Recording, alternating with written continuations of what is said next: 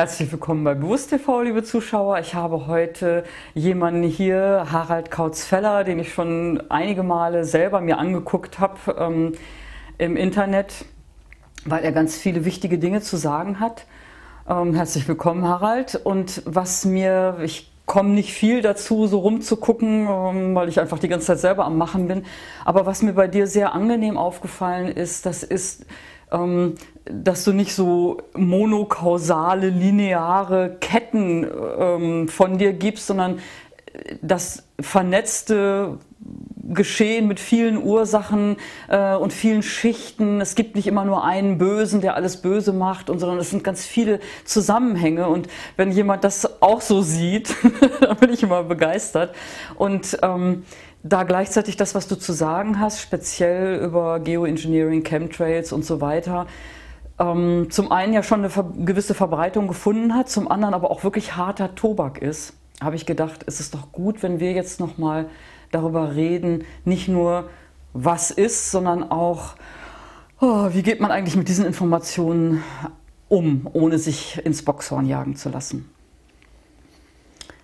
Ähm, Harald, wie ist das für dich? Du äh, redest ja viel über Chemtrails und so. Hast du das Gefühl, dass, die, dass es den Leuten Angst macht, was du sagst? Ähm, kommt, kommt vor, dass es gar nicht geht. Dass ich irgendwo eingeführt werde, mit Leuten rede und äh, nach zwei Minuten merke ich, wie die Augen abschweifen und den Leuten ansatzweise übel wird oder sie wegrennen möchten oder sie eine gewisse Portion aufnehmen können und dann einfach sagen, so Schnitt, ich kann nicht mehr, ich will nicht mehr. Was ich auch total verstehen kann, weil ich bin über zwei Jahre reingewachsen, habe Zeit gehabt, mich dran zu gewöhnen, habe es auch peu à peu finden, entdecken, verstehen lernen können und ähm, ähm, ist halt alles menschlich so. Mhm. Auf der anderen Seite sehe ich natürlich auch Unterschiede. Es gibt Leute, ähm, die ticken so und es gibt welche, die ticken anders. Manche Leute glauben ihrem eigenen äh, Urteilsvermögen, ihrer eigenen Wahrheit. Denen ist es egal, was die Nachbarn sagen. Und wenn es denn lebenswichtig für die Zukunft erscheint, dann gehen sie auch mal über ihre soziale Existenz rüber und sagen, das muss jetzt. Also wir machen Dinge, weil Dinge getan werden müssen. Nicht, weil es uns morgen deswegen besser geht, sondern einfach, weil es um Generationen geht. Und ähm, keine Ahnung, nehmen wir äh, schönes Beispiel, gerade jemanden gehabt äh, in einer öffentlichen Anstalt, die viel mit Wetterradarbildern umgehen auf täglicher Basis. Alter Bekannter, wieder getroffen und die so, hey, sag mal, wie ist denn das? Wie geht denn ihr mit diesem Chemtrail Thema um. Und meint der Typ, wir lachen darüber. Ich meine, wie ihr lacht darüber? Meint er, äh, ja, wir gucken uns jeden Tag den Wetterradar an, vergleichen das Ding mit den Satellitenaufnahmen, legen das übereinander, dann kann man genau sehen, da gibt es halt die langen Trails und die haben eine eindeutige metallische Reflexion im Wetterradar. Und dann gibt es die kurzen, die bestehen aus Wasserdampf und die reflektieren natürlich nichts. Und denen ist das allen völlig klar. Sag ich, hey, prima, wir bereiten eine Klage vor, ja? können wir dich als Kronzeugen laden? Nein. Ja, warum Angst? Mein Job geht flöten. Ja? Kannst du mir denn nennen, irgendwie äh, von deinen Vorgesetzten jemanden, den wir als Zeugen vorladen können? Wir lassen deinen Namen auch außen vor. Nein, von denen würde keiner was sagen. Die haben alle Angst. So. Und dann denke ich mir, hey, wo leben wir? Ja? Ist die, diese ganze demokratische äh, Landschaft, die uns hier vorgegaukelt wird, ich meine, ich stecke da drin lange genug, um, um sagen zu können, das ist eine Gaukelei, die wir hier erleben. Aber die Leute gaukeln freudig mit, weil ja. einfach diese Bubble, in der man da schwebt, viel angenehmer ist. Sie, sie, bringt einen nicht, nicht an den Punkt, wo jetzt Handlungsbedarf wäre und das Morgen ist einem halt näher und das soziale eingebettet sein. Da muss noch einmal jemand kommen, sagen Verschwörungstheorie und dann, oh, ich habe Angst, in die Ecke gedrängt zu werden.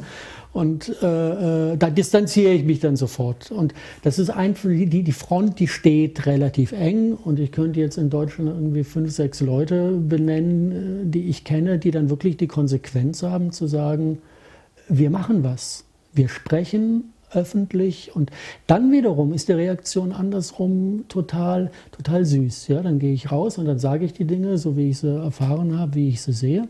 Und plötzlich wissen die das alle.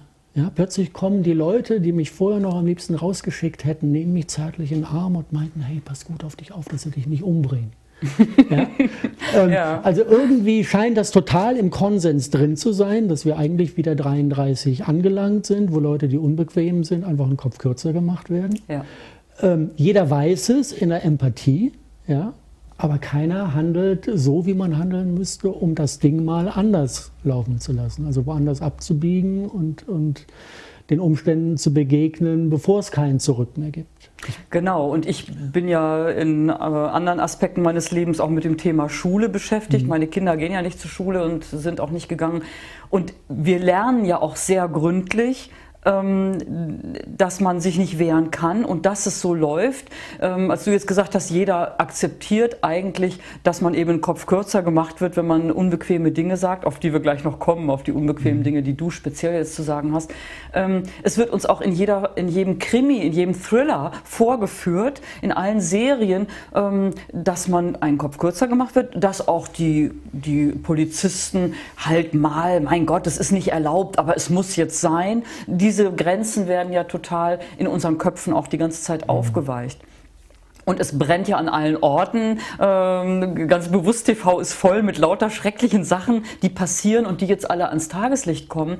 Äh, und immer bei jedem Thema hat man das Gefühl, oh Mann, aber das alleine würde eigentlich schon reichen, ja. Und dann gibt es aber ja noch ganz viele andere Themen, das, was du zu sagen hast und was du ja auch schon äh, sagst, wir werden das dann auch, ähm, die Links dann bringen, müssen hier nicht noch alles nochmal erzählen, mhm. aber fass doch bitte jetzt das, was du rausgefunden hast, in Bezug auf Wolken, die ähm, merkwürdig sind und anders als früher ähm, zusammen, denn wenn man über Chemtrails redet, kommt ja als beliebtes Argument derjenigen, die sich eigentlich dem nicht stellen wollen, immer, ja, aber jetzt sag mir doch mal, warum sollte das denn jemand machen?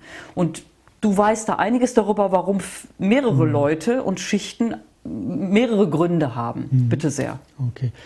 Ähm, ich versuche das mal in Ebenen aufzulösen, ja. weil es auch wirklich in Ebenen gedacht wird. Es gibt Gruppierungen, die leben in ihrer eigenen Bubble, die wissen vielleicht von den anderen Ebenen gar nichts. Und agieren entsprechend ihres Wissensstandes und arbeiten in irgendeiner Form verflochten zusammen. Und das ist teilweise einfach so, wie es ist und teilweise ist da auch manipulative Absicht hinter. Also wenn ich, wenn ich mal von ganz oben weggehe, ähm, es gab mal Umweltprobleme. Die waren in den 80er Jahren klar auf dem Plan. Da wusste man, dass die viel der, der Schwefel und äh, Fluor und Brom aus Treibstoffzusätzen den Himmel vernebelt hat und dass uns das einen Treibhauseffekt verschafft hat. Und da gab es Umweltwissenschaftler, die sagten, wir müssen da was gegen unternehmen.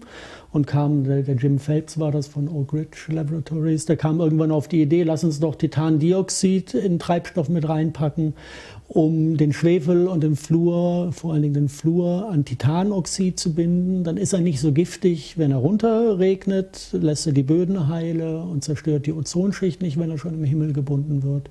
Das waren eigentlich die Anfänge im wissenschaftlichen Bereich von Geoengineering Gedankengut.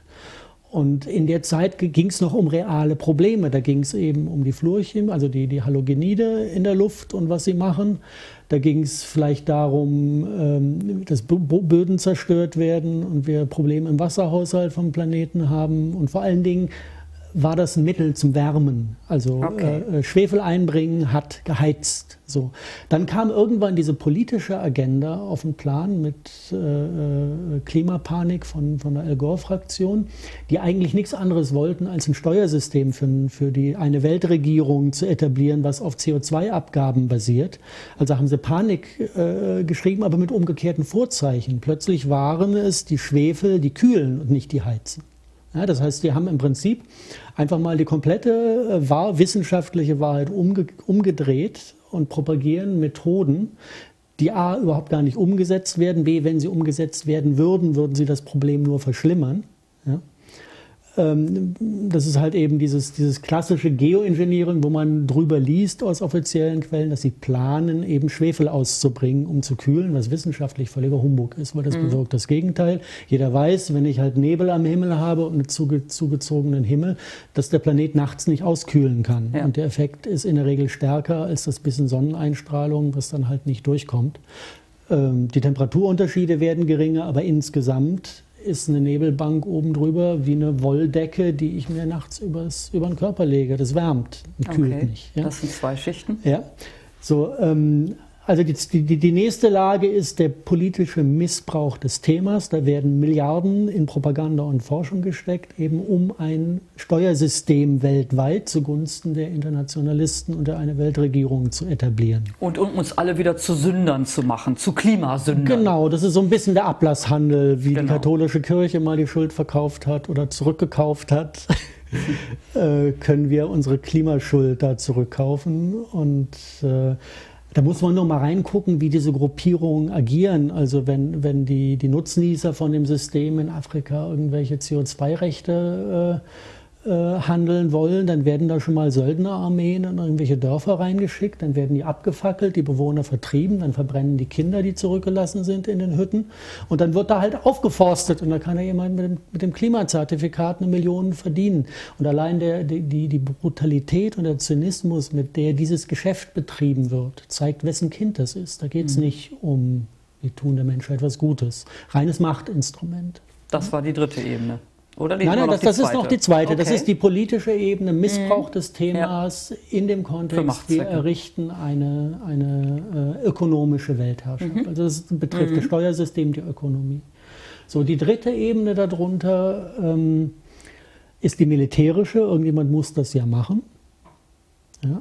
Äh, offiziell wird es ja nicht gemacht, aber gleichzeitig ähm, haben wir eine riesige Militärapparate, äh, die sowieso mit Flugzeugen unterwegs sind und es gibt militärische Anwendungen von den gleichen Partikeln oder ähnlichen Partikeln, wie sie in der Klimadebatte diskutiert werden. Da geht es dann um Barium-Strontium-Titanat und monokristalline Aluminiumoxid-Nanopartikel beides. Und diese beiden Dinger zusammen, das Barium-Strontium-Titanat ist piezoelektrisch, das spuckt auf Funkbefehl Elektronen aus und diese, diese Aluminium-Nanopartikel, die sind wie so Weihnachtssterne, die haben Spitzen in alle Richtungen, Whisker nennt man das, und die halten diese Ladung wunderschön an den Enden von den Dingern.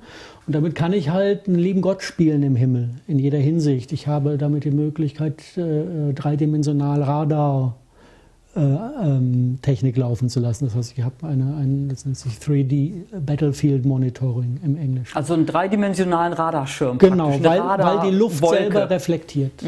Die Luft selber dient als reflektiver Hintergrund und damit kann ich halt punktgenau in den Raum gucken. Ist diese militärische Ebene die Ebene, wo auch Harp ins Spiel kommt? Oder ist das noch eine Genau, andere Harp, Harp wäre, also Harp ist jetzt nur ein Frequenzbereich, das ist die Mikrowelle, die hat, Harp selber hat eigentlich nur die Funktion, äh, äh, dieses technische Pla Partikelplasma in ein optisches Labyrinth zu verwandeln. Also ich kann Luftschichten aufheizen mit Harp und erzeuge Spiegel, wie Fata Morganas hängen die dann als Luftschicht irgendwo. Und ich kann Säulen hochheizen und dann erzeuge ich optische Linsensysteme, wo ich Funkwellen wieder fokussieren kann nach hinten. Äh, Das sind die offiziellen Militärtechnologien. Dann gibt es noch die inoffiziellen, die man eben mit diesem Partikelplasma auch machen kann. Also Raketenschild spielt noch mit rein, dass ich halt eine Rakete mit dem Laserstrahl nicht vernichten kann. Wenn muss ich sie nur verspiegeln, dann wird er reflektiert. Aber wenn ich vor der Rakete die Luft hochheizen kann, dann verglüht die Rakete halt. Damit habe ich Raketenabwehr, SDI-Programm. Ne? Zweite Das ist die. Ebene, die auch Genau. bis in den Mainstream äh, ab und zu Panorama und Ja, so. also in den Militärforen wird da relativ offen drüber diskutiert, aber eben als Militärtechnik, nicht als Geoengineering, nicht als Klimamaßnahme, sondern das sind einfach Nanopartikel, die sind in keinster Weise geprüft auf Bioverträglichkeit, die sind überhaupt nicht bioverträglich. Das ganze Pflanzenreich macht die Grätsche darunter, weil diese Partikel eben optisch hochaktiv sind und genau die Zellteilungsimpulse in der Biologie Also die schlucken. Zellkommunikation, die ja auch Genau, also der, der Zellteilungsimpuls bleibt einfach weg, weil bevor eine DNA einer anderen das Signal schicken kann, bitte teil dich mal, ist da immer irgendwo ein Nanopartikel zwischen, der genau da seine Absorptionslinie hat auf der Frequenz. Und das heißt, wir werden das ähm, Pflanzenwachstum immer weiter verlangsamen und das geht dann sehr abrupt auf Null, ja, wenn wir nicht aufhören mit dem Mist. Und die Militärs ich weiß nicht, ob denen das egal ist oder ähm, ob die sagen, äh, wir haben da einen linearen Prozess und haben immer noch Zeit äh, aufzuhören. Der Prozess ist nicht linear. Wenn kein Licht mehr durchkommt, ab der und der Menge ist Exitus. Dann wächst nichts mehr auf dem Acker, weder Essen Äh, Bäume gehen schon in großen äh, Strecken kaputt. Also in Alaska, wo sie am, am, längsten dabei sind, diese Methoden anzuwenden, wegen der Luftraumüberwachung von, von Nordamerika. Da sind teilweise 80 Prozent der Baumbestände, Baumbestände mhm. tot. So, das erwartet uns überall. Aber die Militärs annehmen. machen es. Es gibt ja diese Massenträgheit im Denken, dass man eigentlich weiß, Fukushima und dies und das, aber irgendwie, ach naja, jetzt erstmal frühstücken und mhm. wird schon, oder? Ähm, gibt es noch eine Schicht? Waren das jetzt die drei Levels?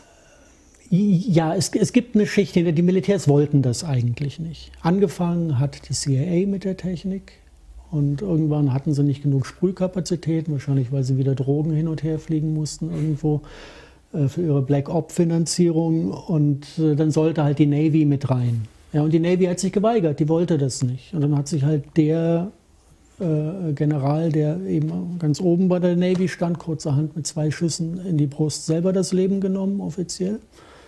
Wann äh, war das? Oh, um Mitte der 90er, 96, mhm. glaube ich. Ich habe ich hab das Datum nicht genau im Kopf. Mhm. Also das war bevor sozusagen das Sprühen in den Staaten flächendeckend wurde. Also die fing an, 93, 94 fing das an und irgendwann ein paar Jahre später waren das dann nicht nur ausgewählte Bundesstaaten. In Hawaii war das erste, dann waren das ausgewählte Bundesstaaten in den USA und dann sollte irgendwann flächendeckend gemacht werden und dafür brauchten sie die Navy und die Navy wollte nicht, also ist der General mal kurz gestorben. Ähm, das heißt, da ist eine Ebene drunter, die aus anderen Gründen dieses Ding forciert und die Ebene, da geht es eben um Geheimdiensttechnik, um Smart Dust, um. Ähm, Was ist Smart Dust? Smart Dust sind intelligente Nanopartikel, die zum Beispiel per Funk bewegt werden können. Also ich könnte jetzt Smart Dust in ein Gebäude hinein manövrieren, wenn ich das möchte. Ähm, durch entsprechende Feldphysik und die komplexe Funktionen übernehmen können. Also mir jetzt persönlich bekannt sind, sind äh, in erster Linie zwei Komponenten. Das eine ist ein Nanothermit, der sich äh, automatisch langfristig in den Lungen von allen Lebewesen anreichert. Und wenn mir jemand mal unbequem wird, dann drückt jemand anders einen Knopf. Und dann fängt die Lunge von innen Feuer oder der Mensch explodiert, weil das hat, glaube ich, 10.000-fache 10 Sprengkraft von TNT nach NASA-Papieren. Und das haben ähm, wir bereits alle in das uns, haben wir alle, Erkenntnissen nach? Ja, mhm. ich habe das jetzt noch nicht überprüft, aber jemand meinte mir, in den USA kommt es schon mal vor, dass irgendein Vogel zu nah an einem Handymast vorbeifliegt und dann einfach Signale reinkriegt, die das aus Versehen durchzünden und dann reichen zwölf Feuerwehrleute nicht aus, um den Vogel wieder zu löschen. Mhm. Also okay, das, das, so allmählich ist, wird ne? äh, schon deutlich, warum ja. deinen Zuhörern dann manchmal äh, die Augen stillstehen. Ja, ähm, das, ist, okay. das ist der eine Part. Der andere Part, da geht es um Überwachung und Bewusstseinskontrolle. Äh, das sind Technologien, die sind bekannt aus dem Bereich des Transhumanismus. Also es geht in erster Linie darum, im Transhumanismus eine Schnittstelle zu schaffen zwischen Mensch und Computer. In der Propaganda sieht das dann so aus, wir wollen euch allen Echtzeitzugriff auf Google kriegen, ohne dass ihr einen Internetanschluss braucht. Und in der Realität ist der Zugriff aber andersrum. Nicht, dass wir die Technik kontrollieren, sondern die Technik soll uns kontrollieren. Und wer kontrolliert die Technik, die uns kontrolliert? Auf welcher Ebene ist das angesiedelt? Sind das auch Menschen? Oder ich verliere da jetzt so ein bisschen die Orientierung? Das ist in, in erster Instanz ähm, ähm, ja, ja, so, so, ein Konglomerat aus Hochfinanz und den Teilen der UNO, die die Hochfinanz kontrolliert. Ich meine, die mhm. UNO ist ja gegründet worden von, diesen Klientel, von diesem Klientel, also die ganze Anschubfinanzierung. Genau, und äh, dass wir da alle ein bisschen demokratisch mitquatschen dürfen, das ist eigentlich mehr lästig. Äh, manchmal nimmt das auch überhand und dann ist die UNO vielleicht auch mal ein demokratisches Instrument. Aber letztendlich soll sie ja eine, eine Weltregierung später mal beherbergen. Und diese eine Weltregierung braucht eben ein Steuersystem, das ist die obere Ebene. Und sie brauchen natürlich einen Geheimdienst. Und das soll wohl ein Geheimdienst werden, der jede beliebige Armee einfach tot umfallen lassen kann.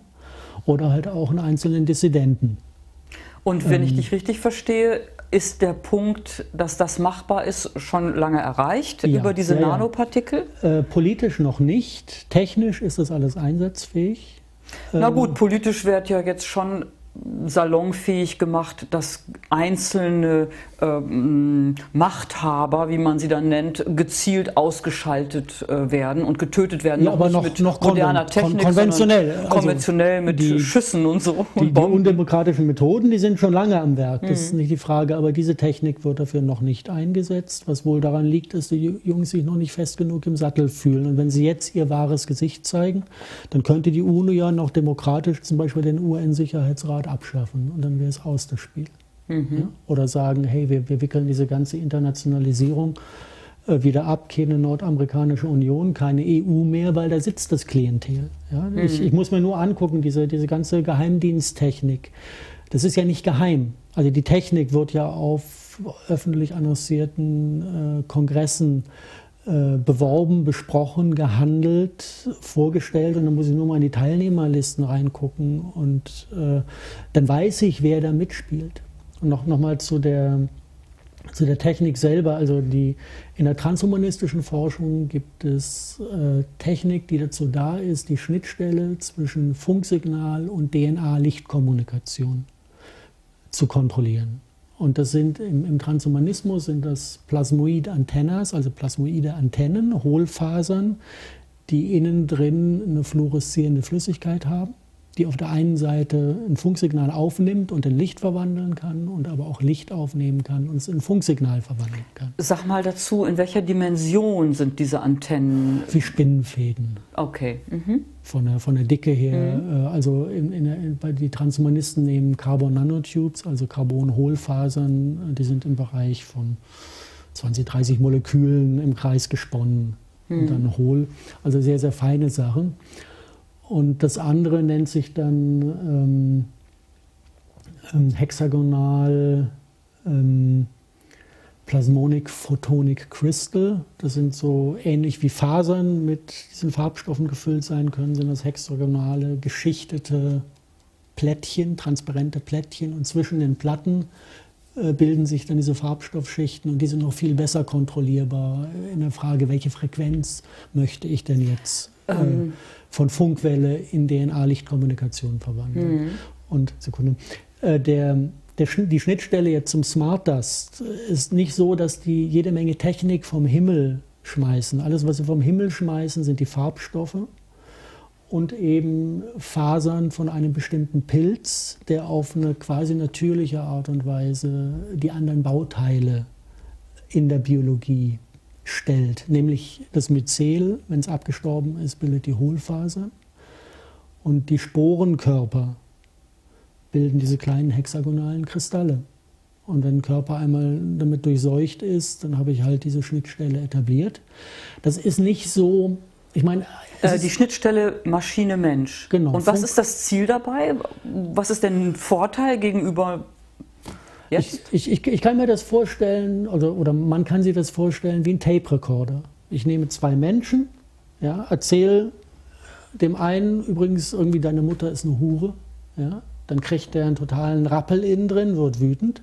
Und dann muss ich nur quasi die Wut, die sich in seinem Körper in Funksignal verwandelt, mit einer Antenne einfangen, auf Band spielen oder digitalisieren. So, dann nehme ich das als digitales Signal und schicke das auf einen anderen Menschen. Dann wird der wütend, obwohl ich dem gar nichts über seine Mutter gesagt habe. Genau der Film in ihm stattfinden. Das heißt, es ist ein perfektes Instrument, Aufstände zu triggern, zu kontrollieren, also einfach Massenpsychologie äh, zu, zu betreiben. Und es gibt Interviews mit Leuten, die in den Testprogrammen drin waren, wo, wo sie diese Technik durchgetestet haben. Sind die auf YouTube? Kann man die finden? Ja, ja. Unter was für Stichworten? ähm, ähm,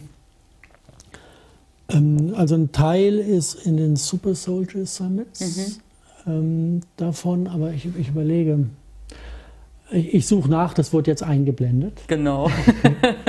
das war eine andere, eine andere Plattform aus den Staaten, mhm. wo, wo Zeugen ausgesagt haben, die in diesen mhm. Programmen drin waren. Und das ging bis hin zu, zu wirklich eingespielten Traumsequenzen und Erlebnissequenzen, die eindeutig dann nicht die eigenen sind. Also mhm. wo ja. medial veranlagte Leute auch genau den ja. Unterschied Also das ist etwas, können. was ich auch schon oft von vielen Leuten gehört habe. Das und auch selber schon erlebt habe, dass ich aufwache und denke, also was war das denn jetzt für ein Film und was sind das jetzt für Gefühle? Und wo ich merke, wenn ich mich dann wirklich sozusagen mit meinem inneren mhm. Licht verbinde, dann, pff, dann mhm. kann sich das nicht halten. Das ist ein ganz mhm. wichtiger Punkt, denn ähm, wir kommen jetzt schon, wir haben uns vorgenommen, nicht so lange zu reden, sondern lieber noch ein zweites Interview zu machen über dieses Thema mit diesen Spinnweben und äh, anderen bösen Dingen, ähm, damit die Leute auch gucken. Mhm. Äh,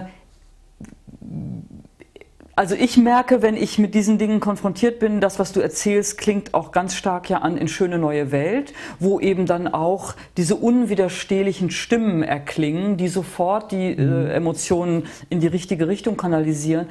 Ähm, wie gehst du damit um, mit diesem ganzen Wissen, was jetzt für, mhm. für viele Leute ja doch sehr erschreckend ist und, und so ein Gefühl von Ohnmacht erstmal auslösen könnte? Also ohnmächtig sind wir überhaupt nicht weil ähm, das System hat ohne Ende Schwachstellen und man muss einfach die Erkenntnis zulassen, okay, da gibt es jemanden, der versucht das, okay, ja, schlucken, durchatmen, weitergucken. Und wir haben halt eine ganze Weile jetzt dran rumgeforscht, wie man ähm, diese Pilzinfektion, die wir ja alle eigentlich latent in uns tragen. Es gibt bestimmte Rahmenbedingungen, da wird das schlimm. Es gibt andere Rahmenbedingungen, äh, da ist das sehr glimpflich und dürfte eigentlich auch auf der Bewusstseinskontrolle keinen äh, Einfluss ausüben, weil einfach zu wenig von dem Zeug im Körper überleben kann. Und das ist einfach eine Frage des chemischen Milieus im Körper. Und wir haben eine Reihe von Vorerkrankungen, identifizieren können, die das chemische Milieu im Körper so weit kippen, dass diese Morgellons überhaupt Fuß fassen können. Und wenn man die austherapiert, was wiederum sehr, sehr einfach ist, also das ist noch nicht mal Therapie in dem Sinne, es ist einfach eine Pflege des Milieus über ähm, äh, bestimmte Mittel, die jetzt entwickelt sind, die demnächst auf den Markt kommen. Also die Firma BioPure, wenn man das sagen darf, äh, hat sich bereit erklärt, die Herstellung und den Vertrieb zu machen. Da findet man das dann. Da machst du jetzt schon heftig Werbung für das nächste Interview. okay. Ja, okay. Also wie gehst du mit diesem Wissen? Du bist lösungsorientiert zum einen ja. und zum anderen, wie gesagt, eben auch diese Bewusstseinsinhalte äh, was gebraucht wird, ist ja auch ein gewisses Unterscheidungsvermögen. Oder wie, wie ist das? Hast du manchmal das Gefühl, hey, jetzt möchte ich aber gerne meine eigenen Gedanken denken? Ähm, ich denke sowieso meine eigenen Gedanken. Ja.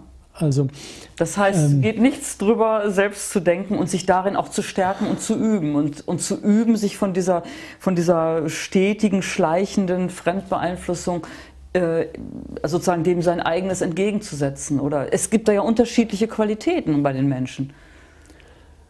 Ähm, ich, ich, weiß nicht, der, der, der Kern, der, ich glaube, der wichtigste Kern, wenn, wenn es jetzt um die Seele, um die, um die Pflege der Seele geht, ist die Angstfreiheit. Ja.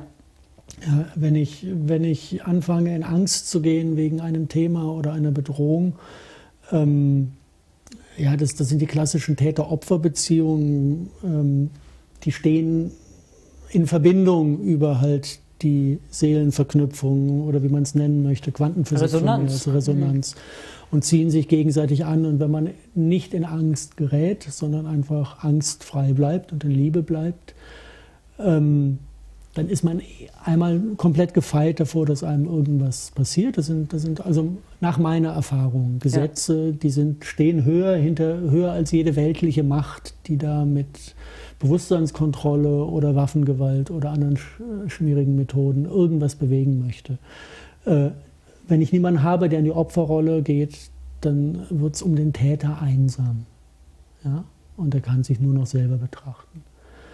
Und, und die, der einzige Weg jetzt wirklich, um, um das Problem kollektiv aus der Welt zu schaffen, ist, dass wir aus der Opferrolle rausgehen. Ja. Das heißt, dass wir sagen, hey, wir wollen das nicht. Ja, ich sage immer, wenn ich mal so einen, so einen Typen erwische, der mit, mit dieser Kontrollmanie äh, äh, sich in die entsprechenden Positionen befördert hat, wir brauchen niemanden, der uns vor Terroristen beschützt, wir brauchen nur jemanden, der uns vor euch beschützt. Ja, ja?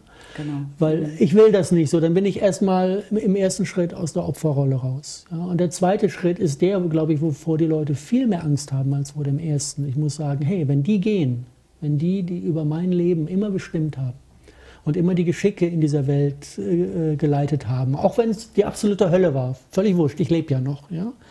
Äh, wenn die gehen, dann muss ich ja in die Verantwortung. Ja, dann muss ich zeigen, dass die bessere Welt, die ich eigentlich haben möchte, dass die auch funktioniert.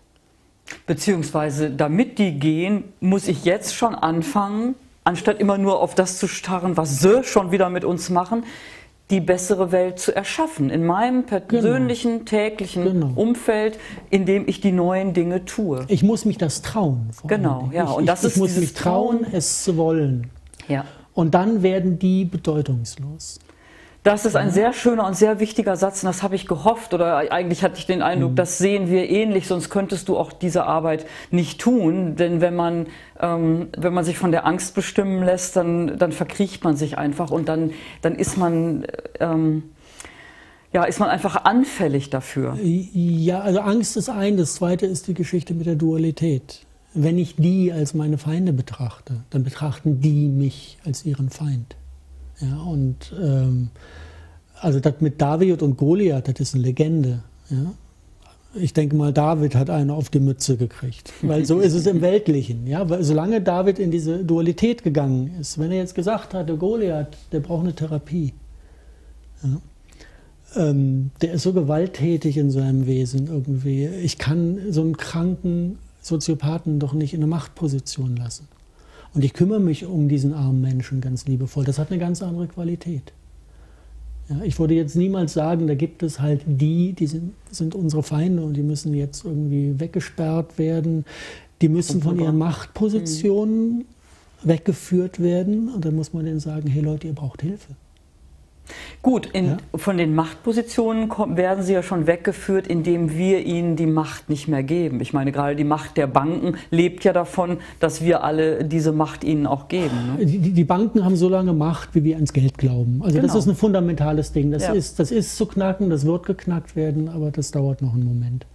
Ja. Ähm, aber da muss schon was passieren, bevor das Geld endgültig gehen darf. Ja, weil ähm, ich muss einfach zusehen, dass die Leute, die ihr Geld missbräuchlich einsetzen, dass denen an der Stelle das nicht erlaubt wird. Und mein Gott, wir haben alle Gesetze der Welt, die wir brauchen. Wir haben nur keinen, der sie umsetzt. Ja, und wir selber setzen es auch nicht um. Denn solange wir daran glauben, dass ich, also solange im Grunde die Ethik der kleinen Leute sich nur dahingehend äh, unterscheidet von denjenigen, die diese Banken beherrschen und die im Übrigen auch all diese Dinge tun, ähm, dass geringere Intelligenz und Technik damit verknüpft ist, aber eigentlich selber gerne äh, Renditen von was weiß ich wie viel, zig Prozent haben möchte, solange kann sich das ja nicht ändern, sondern wenn wir sagen, nö, wir brauchen das nicht, wir wollen anders leben und das ist einfach dieser Punkt, der der so wichtig ist und wo, mhm. wo du ja am Anfang unseres Gesprächs auch gesagt hast, ähm, das ist eigentlich das, wo es im Moment auch noch am meisten hapert. Denn das lernen wir nicht. Wir lernen es nicht in der Schule, wir lernen es auch so nicht,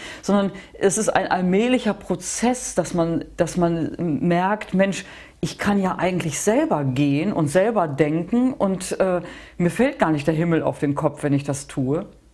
Sondern im Gegenteil, das ist das, wovor die Leute, die die ganze Zeit davon leben, dass ich das mich nicht traue, am meisten Angst haben. Mhm. Und ich denke, das ist irgendwie, das ist eine Haltung, mit der man diese Erkenntnisse aushalten kann und tun kann, was nötig ist, ohne sich von diesem Entsetzen lähmen zu lassen. Wie kann man so etwas überhaupt tun? So, das, das ist einfach dieser Punkt. Mhm.